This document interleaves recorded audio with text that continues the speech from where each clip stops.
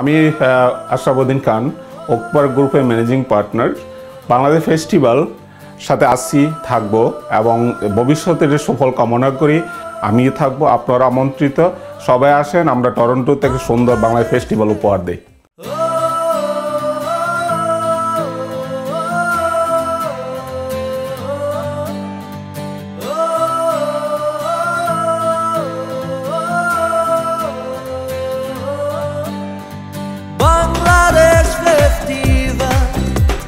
Bangladesh Festival.